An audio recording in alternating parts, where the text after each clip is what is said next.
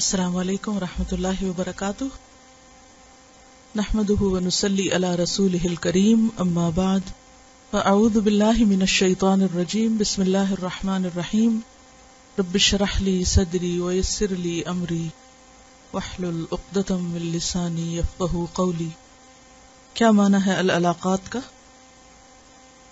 अलका इसका रूट है और इसका माना है चिमटना और अलाकात, जब भी किसी लफ्ज का माना बताना हो तो उसको जब स्प्लिट करें तो बड़े से छोटे और फिर उससे छोटे यूनिट की तरफ़ आए। जैसे अलाकात अलाकत उनकी जमा है और अलाका अलाका से है और अलाका का माना होता है चिमटना। अलाका मसदर है और अलाका का माना ताल्लुक है और ताल्लुक का रूट भी एन लाम काफ है। तरतीब समझ में आई? क्या? अगर लफ्ज जमा है तो पहले क्या उसकी बताएँगे? वाहिद। एकदम रूट पे ना आए। ठीक है? फिर उसके बाद रूट बता के फिर अगर वो मस्तर है, या जो भी है, माजी है या मुजारे है तो उसको उसके मुताबिक बताएँ। दोबारा बताती हूँ, अलाकात अलाकत उनकी जमा है, और अलाका अलाका से है, अलाका का माना होता है चिमटना, और अलाका मस्दर है यहाँ ताल्लुकात के मानों में इस्तेमाल हुआ। है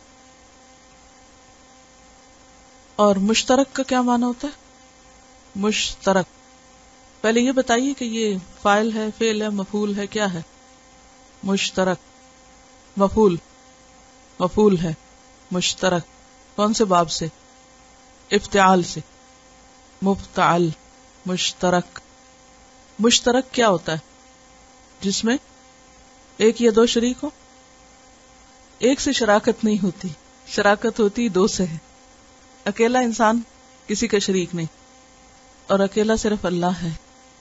हम क्या कहते हैं? ला शरीक अला। अलाकात मुश्तरका का क्या माना? है बाहमी ताल्लुकात।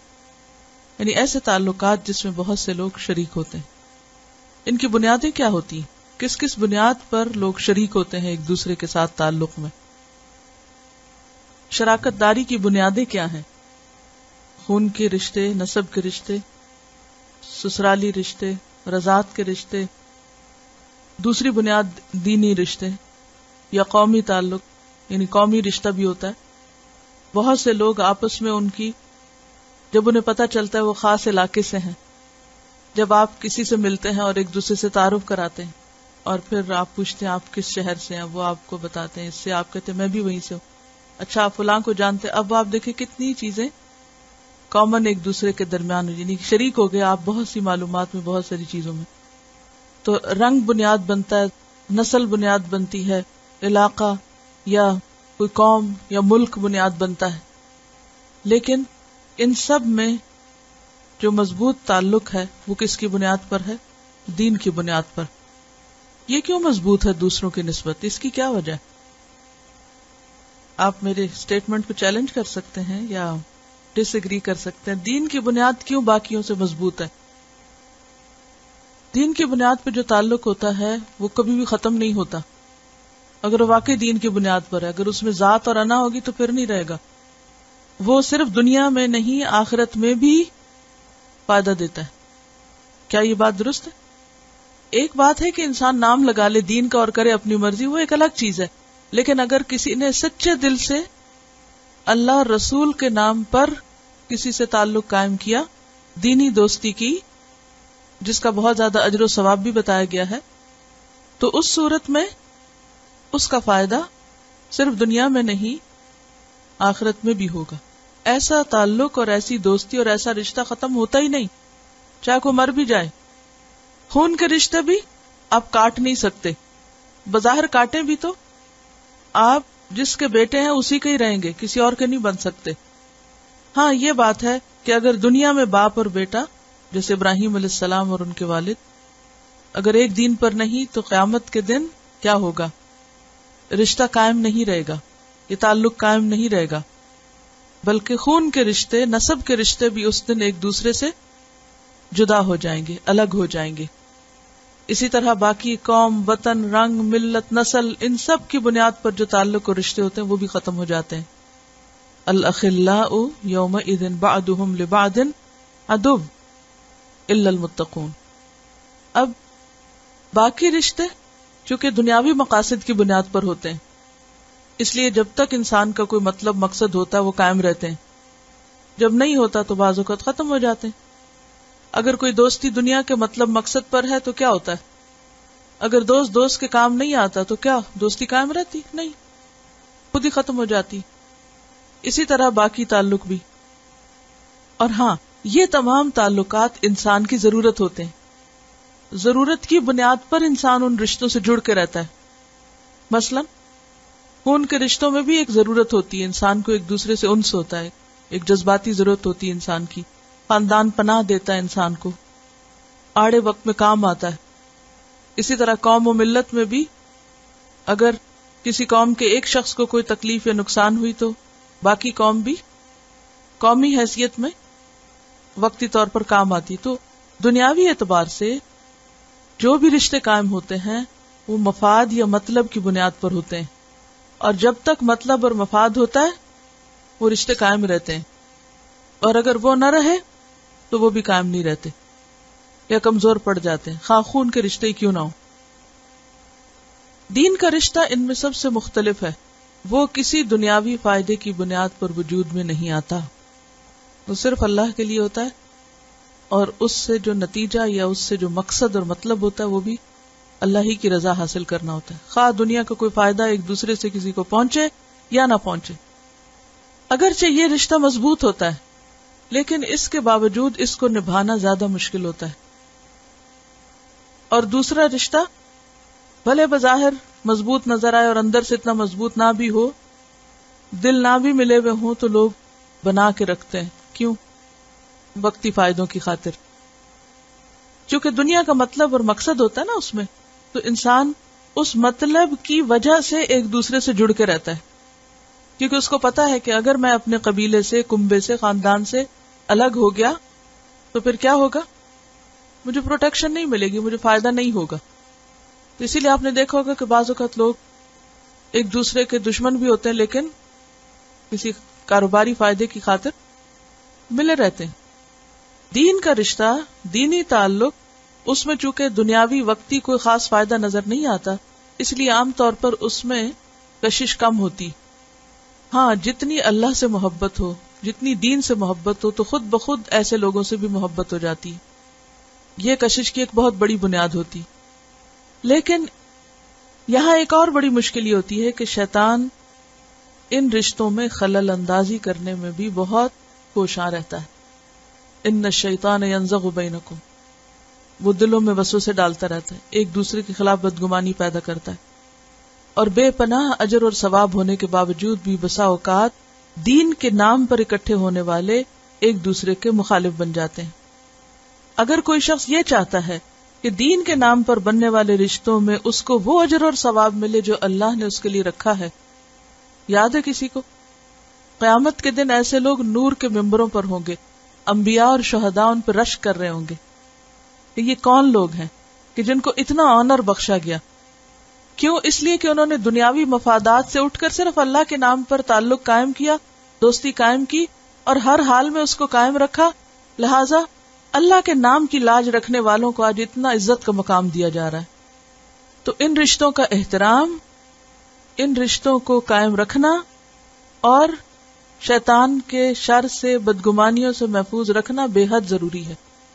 और इसी के लिए यहाँ पर बहुत सी ऐसी बातें बताई गई हैं कि इंसान इस रिश्ते का एहतराम करे, इसे कायम रखे। सबसे पहली बात कि इखवा। फिर एक दूसरे के लिए दुआ करना सिखाया गया। देखिए कि कुरान पाक में बहुत ज़्यादा दुआएँ नहीं हैं। हम्म? लेकिन नंबर में चाहे वो कम है, उनमें से कितनी अहम है ये दुआ? यानी इस बात की कितनी अहमियत है कि जिसकी वजह से ये दुआ रखी गई। ये दुआ सिखाई गई, रब्बन अगफिर लना वली अखवान नल्लदीना सबकूना बिल ईमान। के ईमान या दीन की बुनियाद पर जो रिश्ता हो या अल्लाह, उसके लिए हमारे दिल में कोई गिल मैल न रखना। फिर उसके बाद, इस ताल्लुक को दुरुस्त रखने के लिए सही रवैया और तरीका बताया गया। एक दूसरे के लिए इंसान कैसा हो? आईने की तरह हो। एक दूसरे का खैर खा हो। और आईना इंसान को उसकी शक्ल बताता है। ये बताइए कि आईना हमारे लिए मददगार है या नहीं? किस तरह मददगार है? आप थोड़ी देर के लिए सोचिए कि अगर आपके घर में कोई एक भी आईना ना हो, क्या होगा? सोचिए, क्या होगा? कभी ऐसा होता है ना, आप ट्रैवल कर रहे होते हैं और साथ ले जाना भूल जाते कोई मुश्किल होती? थोड़ी देर के लिए सोचिए कि अगर हमारी ज़िंदगी में आईना ना हो तो हमारी शक्लें कैसी हो जाएँ? है ना? आईना किस कदर मददगार है? थोड़ी देर के लिए सोचिए। जस्ट इमेजिन कि हमारे घर में आईना नहीं है। ये कहती है कि अपनी अम्मी से पूछती थी कि मैं कैसी लग रही हूँ तो वो कहती थी, आईना देखो तो वो सच बताएगा।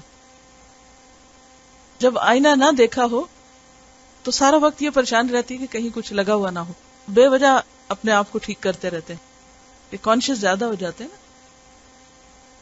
आईना हमारी पर्सनल ग्रूमिंग में मददगार होता है, हमें खूबसूरत बनाने में मदद देता है। यानी जिस एंगल से आईना आपको दिखाता है चीज़ें, उस तरह आप खुद को नहीं देख सकते। सिर्फ़ ये नहीं कि फेस नहीं देख सकते, बाकी जिसम को भी, अपने लिबास वगैरह को। अगर अपनी तरफ़ से आप देखें तो और तरह नज़र आएगा सामने से देखें तो बिल्कुल और तरह नज़र आ रहा होता है। बाजुकत इंसान अपने गुमान में, अपनी सोच में, अपने ख्याल में, अपने आप को कुछ और समझ रहा होता है। लेकिन दूसरा उसको उसकी ज़िंदगी का एक और रुख दिखा देता है। Um, एक प्रोग्राम आता है तो उसमें वो लोगों को दिखाना चाहते हैं कि वो कैसे लग रहे होते हैं ना दूसरे लोगों को।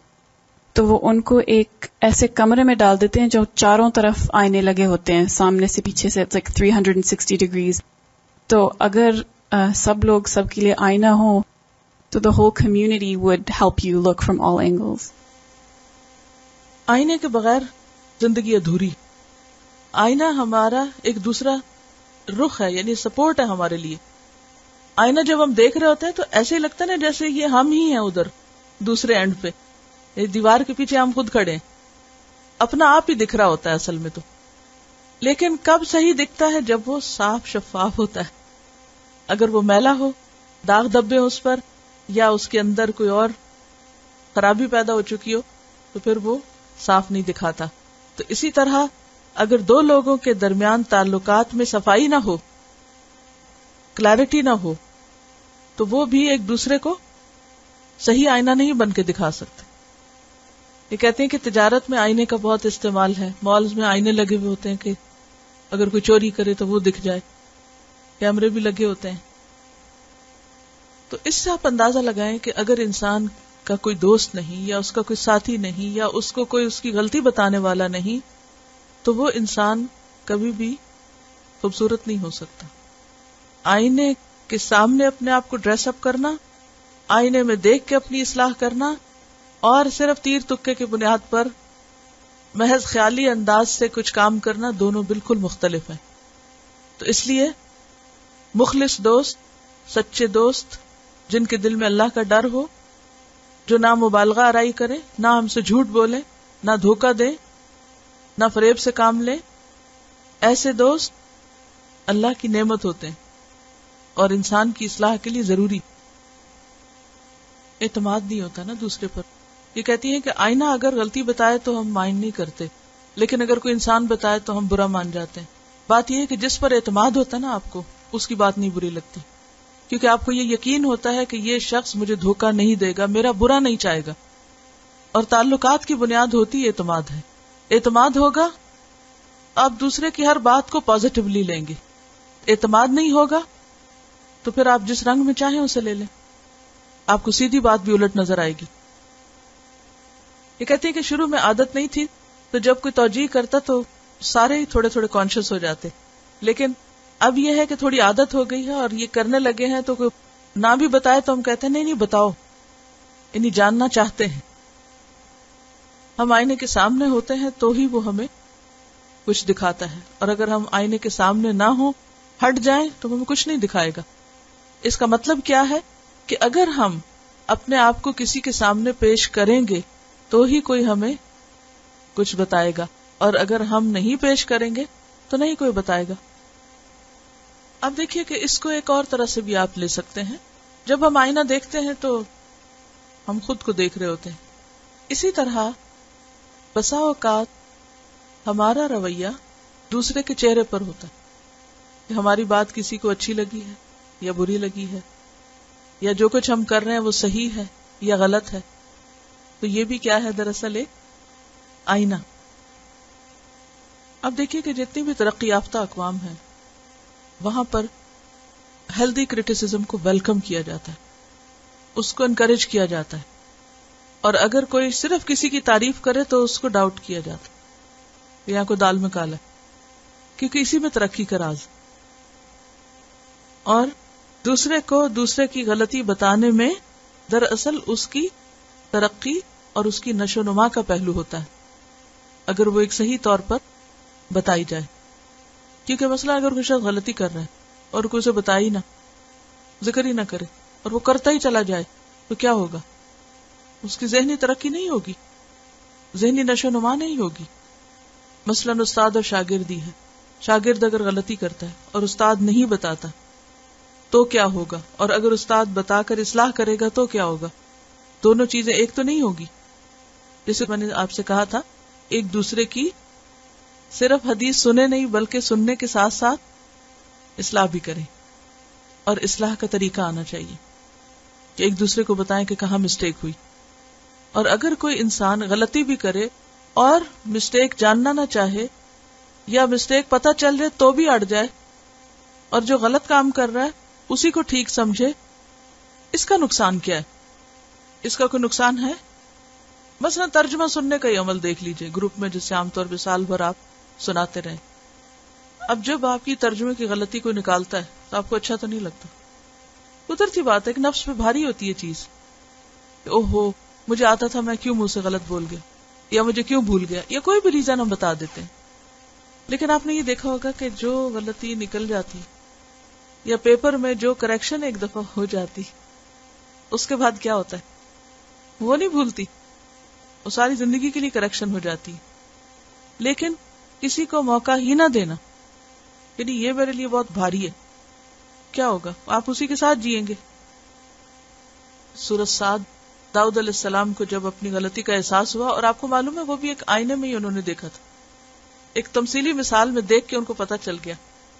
वो भी एक तरह से, वो जो वाक्य था, उनके लिए क्या था? एक आईने की तरह काम किया उसने। लेकिन अल्लाह के साले बंदे ने, जो इतने बड़े मकाम पर थे, दीनी और दुनियावी एतबार से, उनका तर्ज अमल क्या था? वज़न दाऊद अन्नमा वतन्ना हो फस्तखर रब्बहू व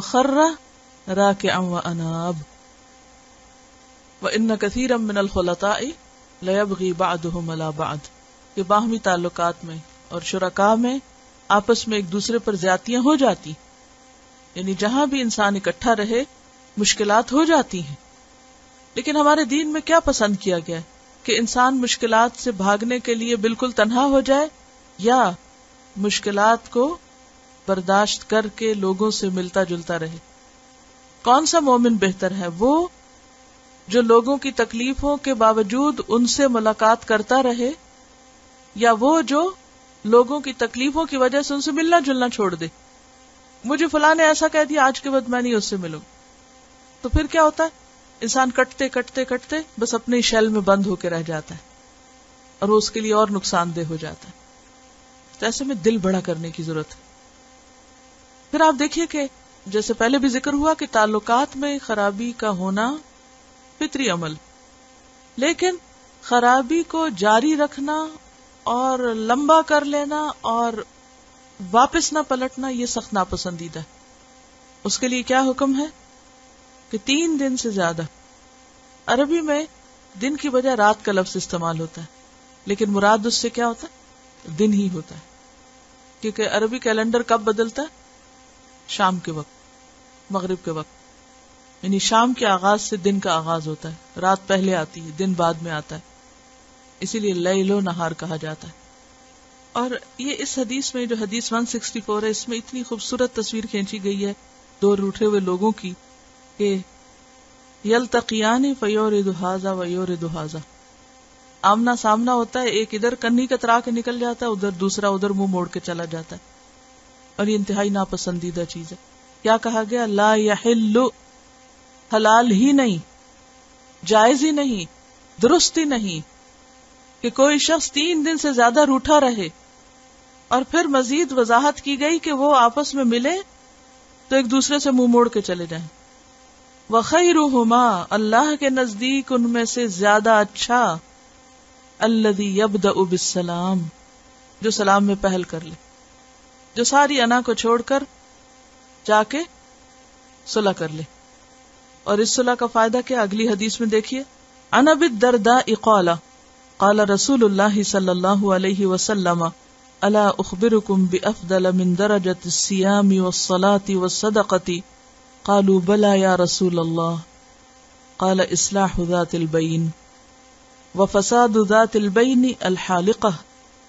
रवाहु अबी दाऊद किताबुल अदब सैदना अबू दरदा रज़ी अल्लाह अनहु से रिवायत है। रसूलुल्लाह सल्लल्लाहु अलैहि वसल्लम ने फरमाया, क्या मैं तुमको बता दूँ वो बात जो बेहतर है रोज़े, नमाज़ और सदक़े से? उन्होंने कहा, क्यों नहीं या रसूल अल्लाह सल्लल्लाहु अलैहि वसल्लम? आपने फरमाया, आपस में सुलह कराना और आपस का फसाद मूड देने वाला है। लफ्सी वजाहत अनबिद दरदा, अबू दरदा से रिवायत है। कौला, कहा, कौला रसूलुल्लाह, फरमाया रसूलुल्लाह सल्लल्लाहु अलैहि वसल्लम ने, अला क्या ना? आ क्या ला ना? उखबिरुकुम, मैं खबर दूँ तुमको, क्या मैं न बताऊँ तुमको? बे अफदला, अफदल, बेहतरीन, मिन दरजत सियामी, रोज़े के दर्जे से व और नमाज़ के व और सदके के। क्या मैं तुमको ऐसा काम ना बताऊँ जो दर्जे में, सवाब में रिवॉर्ड में ग्रेड्स के एतबार से ज़्यादा बड़ा है? रोजा रखने की नस्बत, नमाज़ की नस्बत और सदका करने की नस्बत। इतनी बड़ी नेकी। कालू, उन्होंने कहा, बला क्यों नहीं? या रसूल अल्लाह ए अल्लाह के रसूल, सल्लल्लाहु अलैहि वसल्लम। काला तो आपने फरमाया इसलाह इसलाह करना। जातिल बइन आपस के ताल्लुकात की। आपस में। व फसादु, और फसाद जातिल बइन आपस का अलहालिका, मूंड देने वाला है। हलक कहते हैं बालों को उस तरह फेरना। बिल्कुल साफ़ करना कि प्योर स्किन निकल आए। कुछ भी ना बचे। मुकम्मल सफ़ाई कर दे। और आपस के ताल्लुकात का बिगाड़ तो दीन की पूरी पूरी सफ़ाई कर देने वाला है। फिर तो नमाज़, रोज़े और सदके खैरात भी चले जाएँगे साथ ही बह के। सवाल ये पैदा होता है कि आखिर आपस की सुलह और इसलाह का इतना बड़ा अजर और सवाब क्यों है कि उसको रोज़े, नमाज़ और सदके से भी ऊपर रखा गया?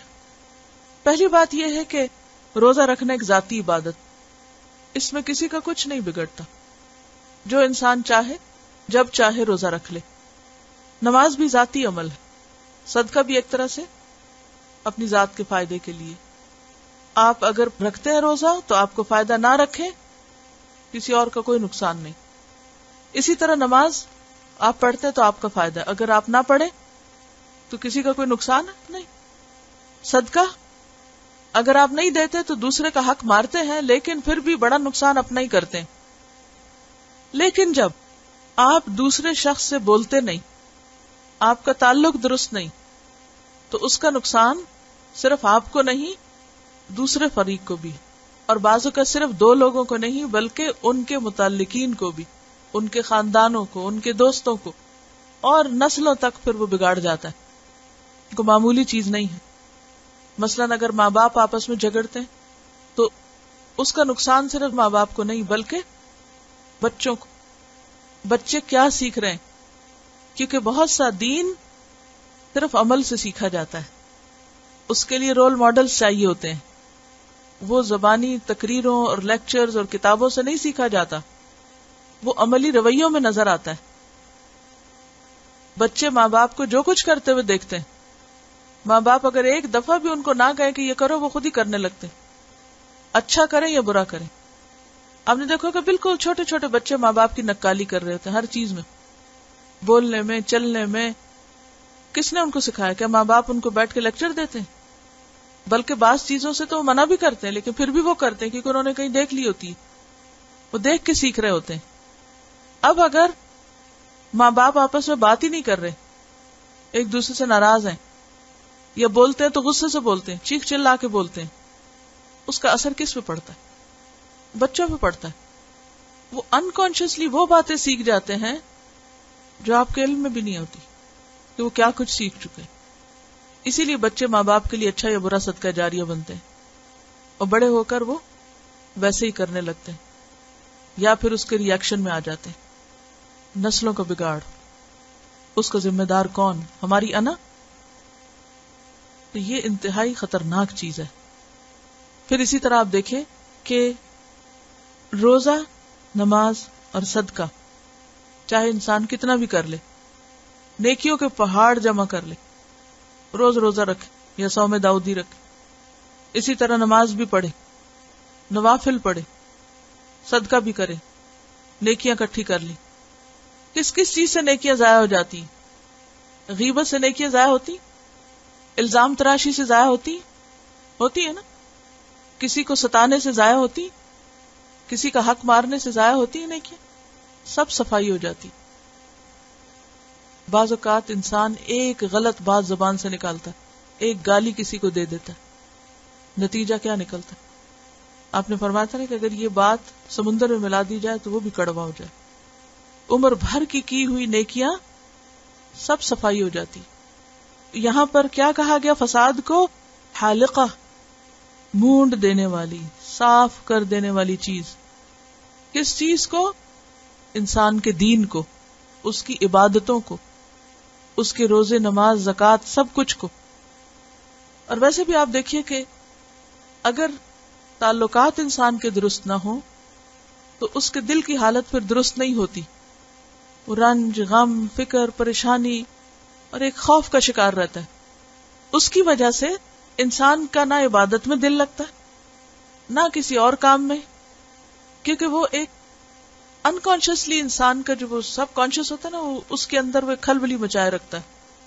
मसलन अगर आप देखें कि अगर आप गमगीन हो, दुखी हो तो नतीजा क्या होगा? आपका ध्यान कहाँ लगा हुआ होगा? आपकी सोच में क्या होगा? सारा वक्त वही बातें होंगी ना। फिर क्या होता है? वो सिर्फ़ जो चीज़ सोच में होती है, वो सिर्फ़ सोच में नहीं रहती। फिर इंसान बोलने लगता है। फिर इंसान किसी दूसरे को, तीसरे को सुनाता है। बाजुकात उतनी बात सुनाता है जितनी होती है और बाजुकात उसमें शैतान मजीद रंग भर देता है, उसमें इजाफा कर देता है।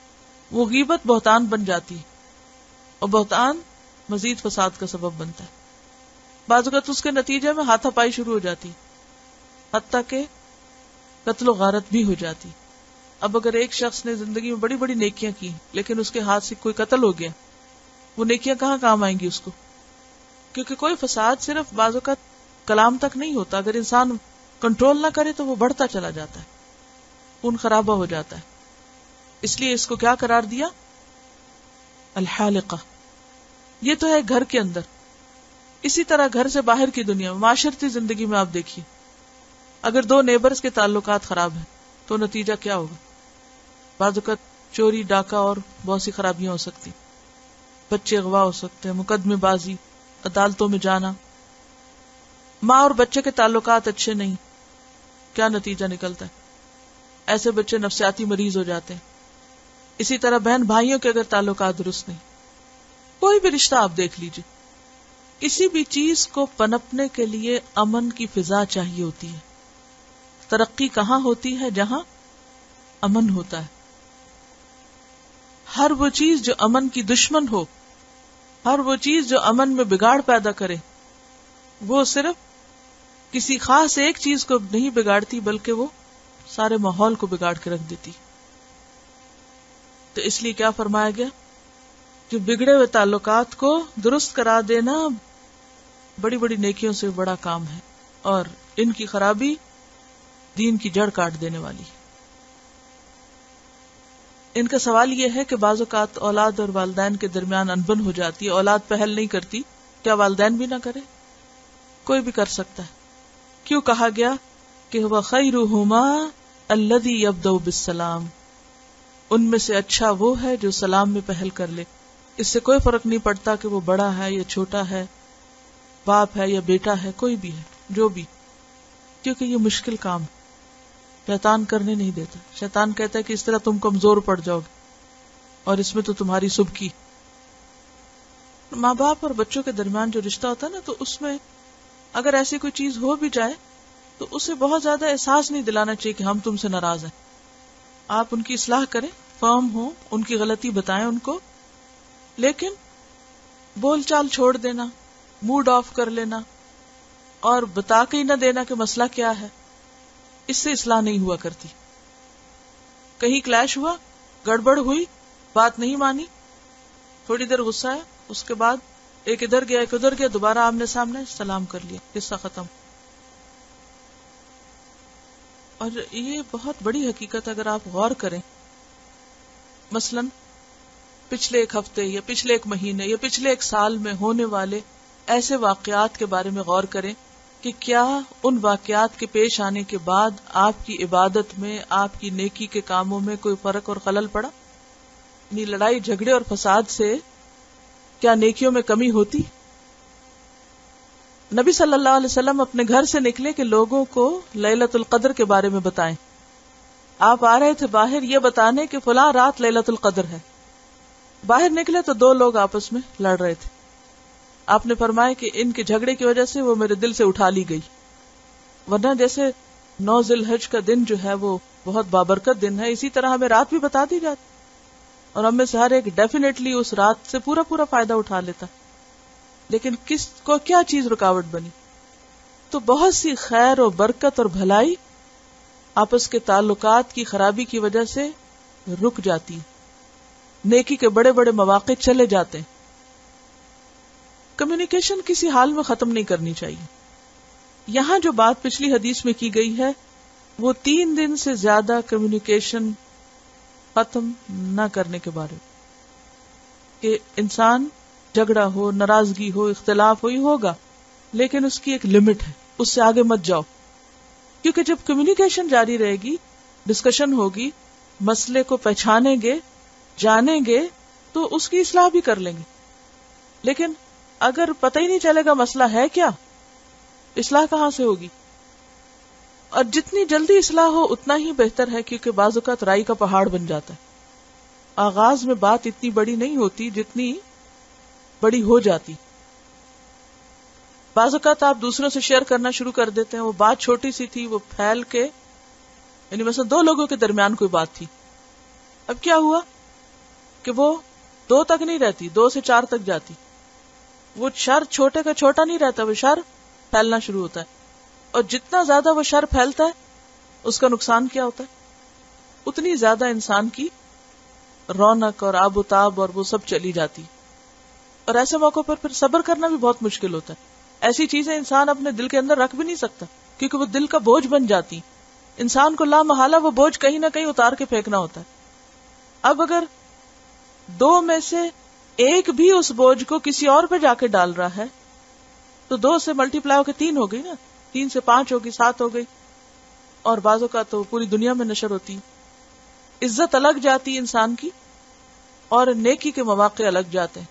बहुत सी एनर्जी किस चीज़ में लग जाती? उल्टा सोचने में। क्योंकि ताकत तो हमारे पास एक ही है ना। चाहे तो हम उसको लगा लें अच्छे काम में, और चाहे उसे लगा लें खराब काम में। जब हम ताकत लगाने लगे मनफी कामों में तो कुदरती बात है कि वो मुस्बत कामों के लिए बचेगी नहीं। तो हरज कर लिया ना, हमने नुकसान कर लिया। इनका सवाल यह है कि पहल करने वाला कितनी दफ़ा पहल करे? हर दफ़ा कर ले। सारा ही अजर समेट जाएँगे। आखिरत में तो एक कतरे कतरे अजर की ज़रूरत होगी। क्या फ़र्क पड़ता है? देखिए, जैसे पहले मैंने अर्ज़ किया कि कम्युनिकेशन नहीं खत्म होनी चाहिए। यानी इनका सवाल यह है कि किस हद तक फिर इंसान पहल करता रहे? हद तो इसकी कोई भी नहीं है कि ये हद है और इसके बाद आप पहल ना करें या आप सलाम ना करें। बात यह है कि ये कहा क्यों गया कि तीन दिन से ज़्यादा मत नाराज़ रहो? और अच्छा वो है खैर हुमा का लफ्ज क्या है? अखलाक में अच्छा वो है, ईमान में अच्छा वो है, अल्लाह के नज़दीक अच्छा वो है, जो पहल करता है। इससे क्या पता चलता है कि हमारा अखलाक और किरदार है क्या? हम कहा खड़े हैं? दुनियावी नज़र से देखें तो क्या नज़र आता है? मैंने आज तक किसी को नहीं मनाया, मेरी डिक्शनरी में ही नहीं। और इस तरह हम धौस जमा रहे होते हैं कि हम बड़ी चीज़ है। है या नहीं? ये तकबर की अलामत है। और अगर दूसरा शख्स ये कहता है कि हर दफ़ा मुझे ही मनाना पड़ता है, मैं तो जलील होकर रह गया हूँ तो वो दुनिया में अगर है भी किसी की नज़र में तो अल्लाह के यहाँ बहुत अज़ीज़ है।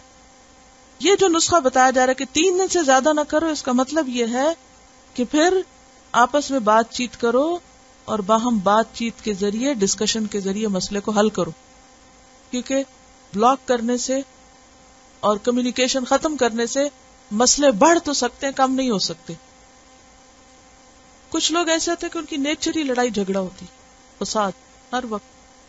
वो बात करेंगे, गाली से शुरू करेंगे, वो ताना ही दे के शुरू करेंगे, वो दूसरे को लेट डाउन ही करते रहेंगे। It's part of their nature वो समझते हैं कि इस तरह हम बहुत बड़े बने हुए हैं। ये बहुत बड़ा धोखा है।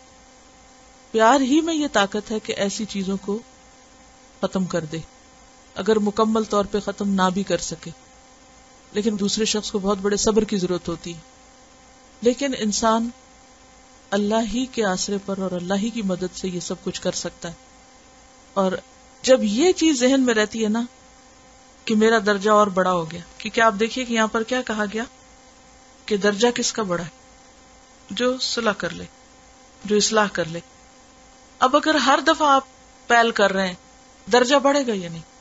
तो दर्जे यहां ना देखें दर्जे वहां देखें कि कहां तक ऊपर जा रहे हैं एक और बात यह कि पहल करें तो आप एहसान भी ना जताएं कि हर दफा मैं ही क्यों पहल करूं क्योंकि एहसान जता के इंसान अपनी नेकियां बर्बाद कर लेता है एक हदीस और पढ़ लेते अन अबी मूसा रदी अल्लाह अनहु अन नबी सल्लल्लाहु अलैहि वसल्लम क़ाला